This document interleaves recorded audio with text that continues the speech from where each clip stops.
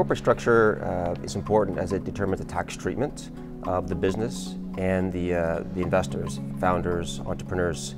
Uh, considerations whether incorporate or not, partnership, sole proprietorship, if incorporate where, Canada, foreign jurisdiction.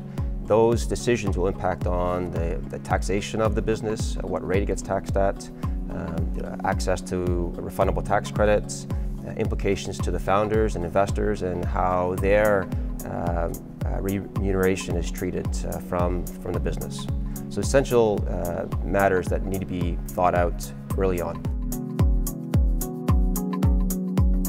Identifying key incentive programs is very important to entrepreneurs. It's important that they don't spend too much time looking at incentives that aren't meaningful to their business and don't provide a lot of value.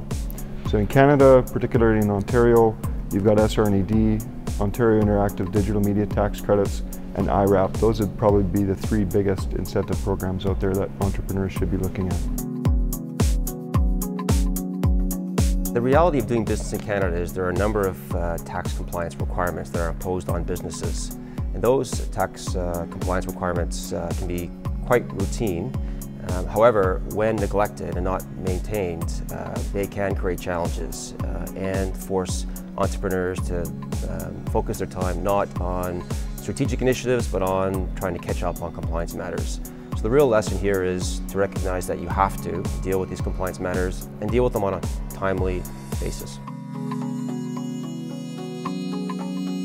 The creation of uh, regular financial information is critical for a number of reasons. One is just to manage your business and know where you stand. But that data, that financial information, are, are the key inputs into the tax compliance reporting requirements. So in order to stay compliant, you need the financial information. Uh, and if you haven't got the financial information and you haven't got it accurate, then your compliance requirements with the various reporting jurisdictions, whether it's CRA or the Ontario government, uh, will be inaccurate or not, uh, not on time.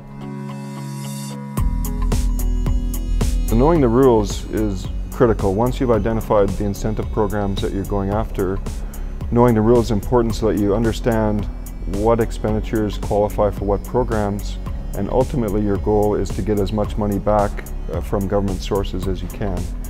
Knowing the rules is important so that you understand when you're having a review or an audit, are you well within the rules? Have you claimed expenditures that are allowable or potentially disallowed? Again, all with the perspective of maximizing the government sources of funding and minimizing the amount of work that you have to do. Once you're involved in incentive programs, it's very important that you are creating the necessary evidence, the necessary supporting documentation to support the inevitable reviews and audits that come from the government authorities. Planning ahead for that's very important so as you're doing the work, you're creating the necessary documentation, whether it's scientific documentation or financial documentation, rather than trying to look back 12 months, 18 months, and try to remember and create documentation at that point. It's a much more difficult task rather than planning ahead and doing it on a re real-time basis.